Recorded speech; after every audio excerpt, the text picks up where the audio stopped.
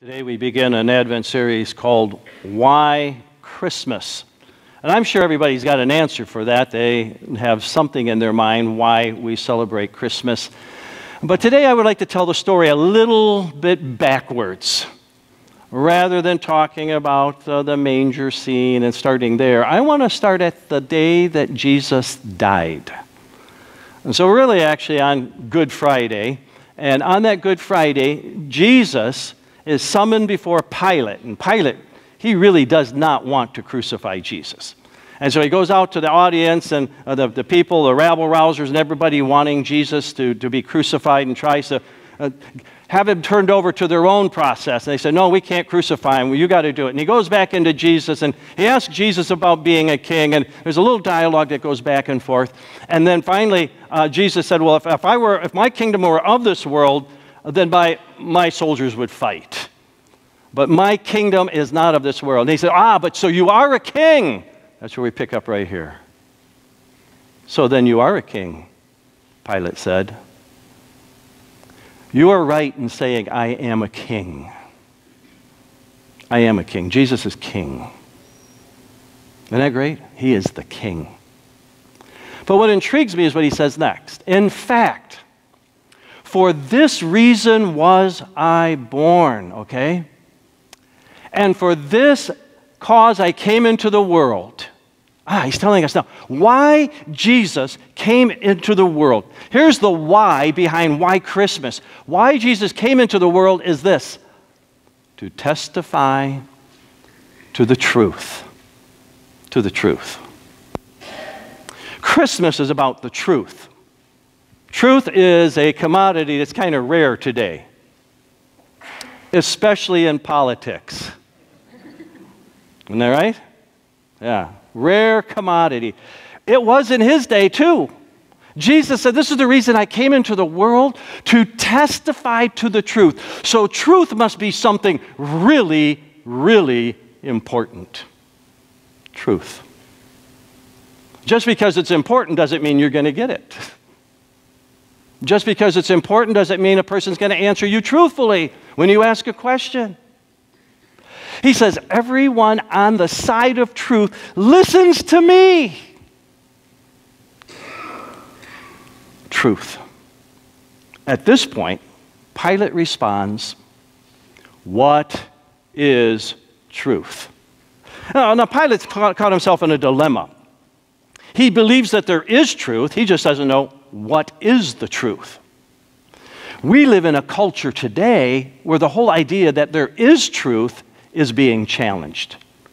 Uh, so if, Pilate had been, you know, Gen X, millennial of our day, he would have said, Come on, Jesus, is there really any truth? But he assumes that there is truth.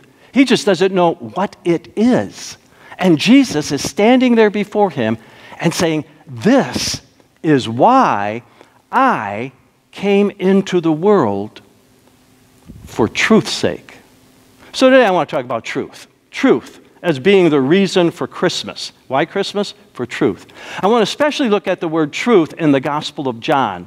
And it's not any one text, it's selected text from the Gospel of John. And I want to begin in John chapter 1, verse 14. Now we're going back to the time of Christmas. We've gone from Jesus standing before Pilate at 33 years old, now that he's just been born, or even before he's born, and we're getting, giving this message about who Jesus is. And it says, The Word became flesh. That's what Christmas is all about. The Word becoming flesh he made his dwelling among us, and we have seen his glory, the glory of, of the one and only who came from the Father, full of grace and truth. Truth. Jesus said, This is the reason I came into the world. I'm telling you at the end of my life. Let's back up to the beginning of my life. At the very beginning, before I came into the world, it was so that I would reveal grace and truth. It's truth. Truth. Let's back up in the text from John 1:14 back to verse 1 of the Gospel of John. Now we're going all the way back to the very first verse of the Gospel of John, and he says this In the beginning was the Word. I got the Greek word for word up there. It's logos. You, everybody knows that one. Logos, logos. It, it's the word, the, the word logos is the word word. But if you'll notice in the text here, it says, In the beginning was the Word, and Word is capitalized because it's a proper noun. It's kind of like uh, the word jack. The, the word jack, I, I could say, hey, you know, I had a flat tire and I got in the trunk, I got out my jack. So I could jack up the car. So jack, okay, is a noun. It's a noun about piece of equipment. It's a verb, it's an action. And then a guy by the name of Jack came along and he did it for me. and now Jack is a proper noun, it's a name. This word, word, is a name. It's a name. And it says, in the beginning was the Word. This person called the Word was in the beginning. And it's very interesting. No matter what beginning you set, the text is saying that he previously existed because of the, the tense of the verb uh, and, the, and the mood of the verb. It tells us that he was already existing when the, the beginning took place. This person called the Word already was. It says, and the word logos, the Greek, Greek word logos, the word was with God. Now, the word with is the word pros. The Greek word for face is prosopon, so it's a shortened version of the word face. And the idea is here is you're with them face to face. So the word is face to face with God at the very beginning, whatever beginning you set, you back it up, whatever beginning, it's the beginning of all beginnings. When that beginning took place, the Word was there with God. He says, and the Word was God. Oh, this tells something very important. The person by the name of the Word is God. You could call the Word God. This person you can call God. And he was with God, so there is God and God. And from those who have studied the Bible, know that there is a Trinity in the Bible Father, Son, and Holy Spirit. And this designation of the name Word is the title that Jesus went by before he was born in Bethlehem, and they named him Jesus. He was the Word. The second person of the eternal Trinity, co equal with God the Father, co equal uh, with God the Holy Spirit coexistent, existed as long as they did. He is God. He says he was in the beginning with God. So twice he's told us he was there face to face with God. And then he says something really important. Through him, all things were made, and without him, nothing was made that has been made. You want to know who created you? Jesus, the Word is the creator. He is the one that created me. It's kind of like in the, in the Trinity the Father planned it, the Son did it. He made us. I'm accountable to Jesus. He is my creator, my God. The truth is theological. That's what I'm trying to say here. There's theology here. God is truth. There is no lie, no error, no darkness. He is light in Him. And so, what God has done is He crashed into our darkness. He's crashed into the, the, the lies and the doubts and, and all the mis, miscommunication of, of, of all time. He's crashed in with the truth, and it's in a person, the Logos, Jesus Christ. That's why when we go to John 1:14 it says, "And the word, this God, became flesh and he says, and he made his dwelling among us. Now, the word dwelling is the word tabernacle. He tabernacled, he pitched his tent among us. God was in the tabernacle of a human body in Jesus. And it says here, he says, We beheld his glory. In the Old Testament, over the tabernacle, there was a glory cloud that went up. And they called it Shekinah glory. It means the dwelling glory of God. And by day, there was a pillar of cloud. And by night, that pillar turned into a pillar of fire. And what that cloud said was, Hey, God is in this tent. And this passage says, we have seen the glory of the one and only, the monogenes. The monogenes is the same uh, term used in the John 3:16, which almost everyone has memorized. For God so loved the world that he gave his only begotten Son. That only begotten Son there is the monogenes. And here it says, He has the glory of being the only begotten One text even says the only begotten God. He is identified with God. He is God. And he, we see his glory in the Son. And he adds this full of grace and truth. Truth. There's my word, truth. Why Christmas? He said, I came into the world to reveal the truth. He is the truth. He, he's full of grace and truth. If you're going to access truth, you've got to go, go to Him. You see, you jump down a few more verses in 117, it says, And the law was given through Moses. Remember the Ten Commandments? People say, Well, you know, I live by the Ten Commandments. I'm going to tell you what, also, you're going to die by the Ten Commandments. For if you offend in one point, you're guilty of all. You bear upon yourself the curse of the law, and you die by the Ten Commandments. Says, For the law was given through Moses. Ah, but grace. Now, the word, word grace means giving you what you do not deserve.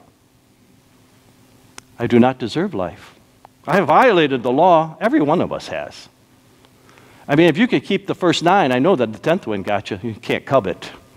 That's a pretty hard one. Paul said, Hey, I could do all the rest, but that tenth one was killing me, man. That one's killing me. All the others are actions. That one's your heart. He said, I can't control my heart. I, you know, I, can, I can control my actions, but my heart, and it just runs crazy because I'm a sinner. And he says, The law kills, but grace and truth came through Jesus Christ. The truth is theological here, it's theologically linked to Christmas, it's theologically linked to Christ. It's linked theologically to the Word, which is linked theologically. This is God. God crashes into our world with truth embodied in a person, the Christ child. The truth. The truth. I want to suggest to you next that the, the truth is spiritual. Spiritual.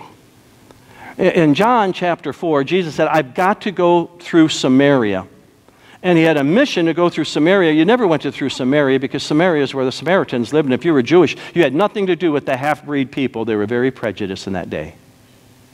But Jesus, who is not prejudiced because he's the truth, he sees people for who they really are without all the charades. And, and, so he's, he's willing to go there and he's on a mission because at Sychar there's a woman sitting outside the well, or she's getting water, and Jesus is there. As she pulls up, Jesus is there and he says, Give me something to drink. She's shocked. Why are you, a Jew, speaking to me, a Samaritan? He said, Oh, if you knew the gift of God and, and if you knew uh, of the water that I had to give, you would be asking me for a drink. Oh, come on, man. You don't, you don't have a bucket. How are you going to get any water out of the well? He says, Well, the water I'm talking about springs up from within to eternal life. And she says, Give me this, give me this drink. And, and he says, Well, go call your husband. Oh, she said, I don't have a husband. he says, That's true. You've got five, and the guy you're living with now, you you're, you're so disappointed in marriage, you're just living with the guy now. You're, you're not even married to him. She perceives, oh my goodness, you know, he's exposed to her sin. She said, I perceive that you're a prophet.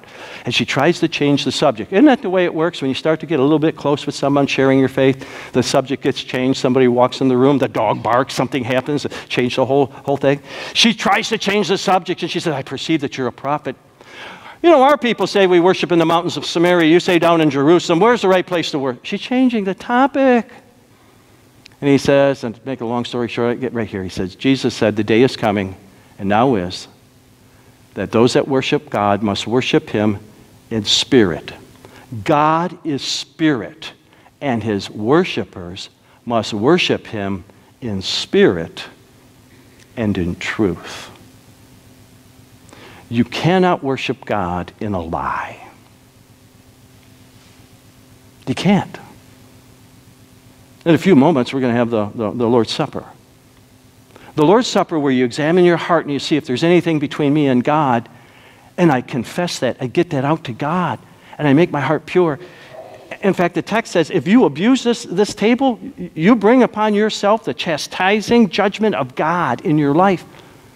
Because he doesn't deal with the lie like you deal with the lie. He wants the truth. He wants you to be open, honest, and, and truthful be, before Him.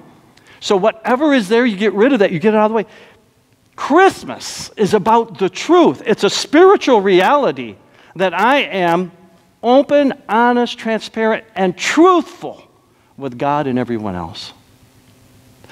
Christmas is about the truth being liberating.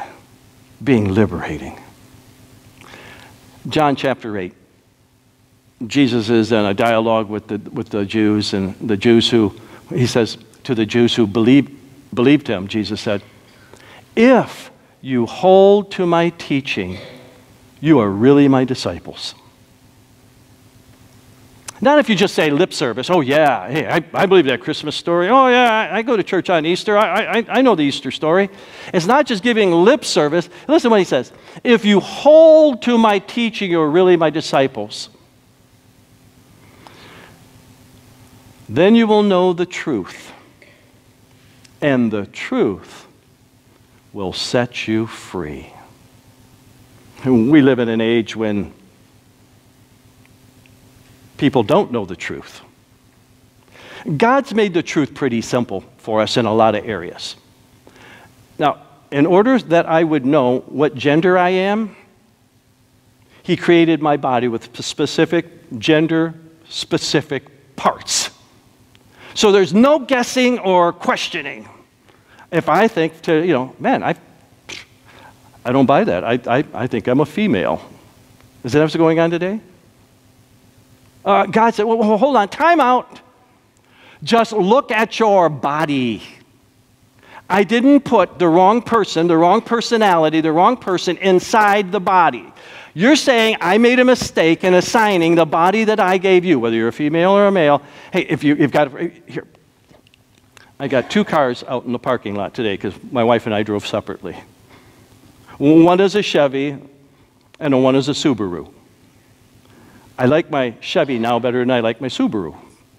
So maybe I want to make my Subaru a Chevy. So I just go take the logo off my Chevy, take the logo off my Subaru, stick the logo, uh, uh, logo of my Chevy on the Subaru, and so now I declare my Subaru is a Chevy. And You know what you all think?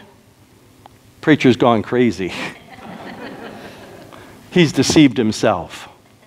You can do whatever you want to try to change the way you look, but you are what God's DNA says you are. That's who you are. We live in an age where if I want to believe differently, then that's the truth. And, and uh, truth for you may be different from truth for someone else. And so there, quote, is no truth. I'm telling you, there is truth. There's absolute truth. Jesus is the truth. And what I have found is when people come to Jesus and they believe in Him and they hold to His teachings, God works within them and they change them. So if they had crazy thoughts, like I don't know my gender, I don't know my sexuality, or I'm attracted to the, my same sex, all of those things, all those disappear because the truth crashing into a person's life frees them from all that false nonsense that's in the world. The truth will set you free only, only if you hold to the teachings of Jesus. It sets you free. And you're free indeed. The truth is liberating. The truth is. That's why we have Christmas, that we might be liberated from the lie. This truth that I'm talking about is countercultural. It, it, goes against the grain. I, I, got here the one here. I'm going against the grain. In, in Jesus' day, they were accusing Jesus of being uh, uh of the devil. How could they get it so wrong? Here he's come from God. They're accusing him. He said, But Jesus, you belong to your father, the devil, and you want to carry out your father's desires. All of them were. He was a murderer from the beginning. What? Not holding to the truth. You know, the majority could be not holding to the truth, and you may be the only one standing up for the truth.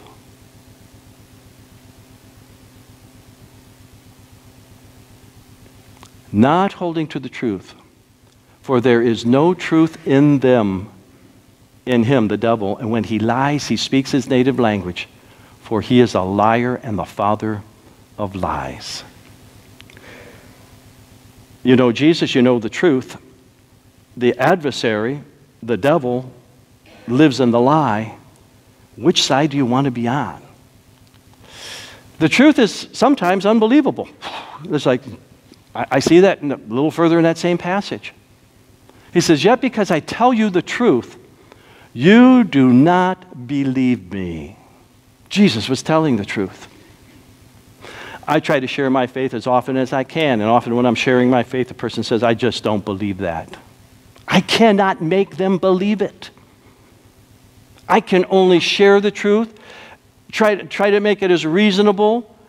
I can try to emotionally, passionately persuade them, but I cannot make them believe.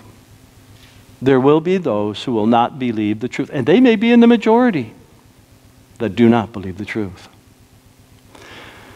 The truth is very personal, very personal.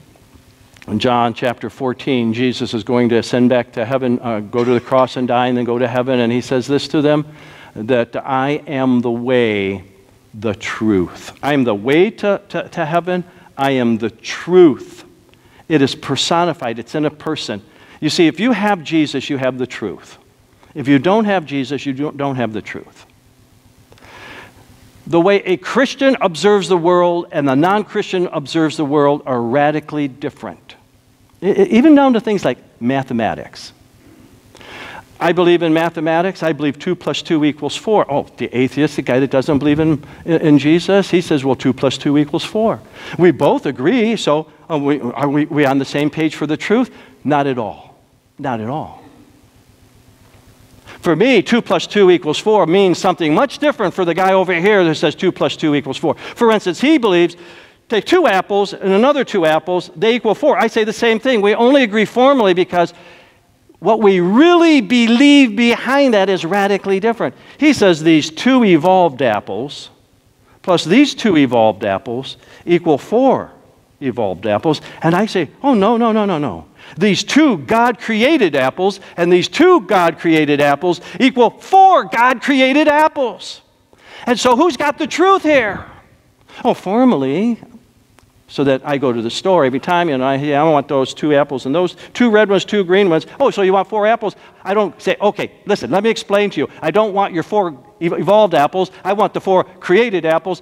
I just work with them formally on the formal level. Yeah, I'll take the four apples. But what I mean by that, I know the truth. These did not evolve. God, in the beginning, created. Passages we said, everything that was made Everything that was made was made by Jesus Christ. Those are Jesus Christ created apples, folks. The truth. He said, I am the truth. It's personal. It's personal. Everything in this world is ultimately related back to the truth that He is the creator and He is the redeemer, and, and everything, everything that we do. And Christmas is about that. It's Christmas is about the truth crashing into our darkness, light into our darkness. It's very personal in Jesus Christ. The truth is also verbal. It's verbal in this sense. Jesus, in his high priestly prayer, says, Sanctify them, the disciples, by the truth. Your word is truth. Your word is truth. If the teaching does not conform to the teaching of the Word of God, the teaching is wrong and the Word of God is true. I one time was saying that, that, hey, if you find something in, you know, the, the teaching that I'm saying as a pastor, and it contradicts what is in the Bible, then uh, you believe the Bible instead of me. A man came up to me and said, Pastor, I got, I got one for you. He said, You said this, and I think the Bible says this, so which one is it? I pondered that and I said, Oh my goodness, you're right. I'm wrong. Because this word is truth. This word is truth. Not my opinion, this word is truth. That's why last year, at the beginning of the year, or this, this last January, we try to get everybody to read through the Bible. Because when you read through the Bible, you're reading through the truth. The truth. And the truth will set you free. Your word is truth. It's verbal. God speaks to us. The truth is decisive, it is also divisive. I didn't know which one to put here, so I put decisive. Jesus, remember, he's standing before Pilate. You are right in saying I am a king. In fact, for this very reason I was born. For this reason I came into the world to testify to the truth. Everyone on the side of truth listens to me. Everyone on the side. What? You got to pick sides. There's where it's divisive. You have to pick a side. Do you believe in the Word of God and do you believe in Jesus Christ? Do you believe or do you not? Now, Pilate tried to evade making the decision. So he says, "Oh, well what is truth?" Most of you know John 3:16, for God so loved the world that he gave his only begotten son, that whosoever believeth in him should not perish, but have everlasting life. And it says, uh, Christ Jesus did not come into the world to condemn the world, but that the world through him might be saved. He that believes on the Son is not condemned, but he that believes not is condemned already. You see, you don't stand neutral. You can't pass the buck here. Pilate saying, What is truth? didn't mean that he wasn't accountable. He was standing there face to face with truth, with truth embodied, tabernacled in flesh, face to face with truth. And he says, Oh, what is truth? What is truth? You can't pass the buck. He's condemned already. He's already chosen the side, and he's on the wrong one. He says, Everyone on the side of truth listens to me. So are you listening? Are you listening to him? What side of the truth are you on? This book, Christmas, reveals the truth. The truth that Jesus is God. It reveals the truth that he is worshiped in spirit. It reveals the truth that he is free. He frees the worshiper, the worshiper who lives counterculturally, and the one who does so with an incredible faith, so that he has this faith in the person of the Lord Jesus Christ and in his word. That's what Christmas is about. Christ Jesus came into the world to reveal the truth. Everyone on the side of truth listens to me, Jesus said. Here's my final question Are you listening? Are you listening? He's speaking. Are you listening? Let's pray. Father in heaven, we're so very thankful for the Word of God and the truth. The Word is the truth, the living Word is the truth. Christmas is about the truth.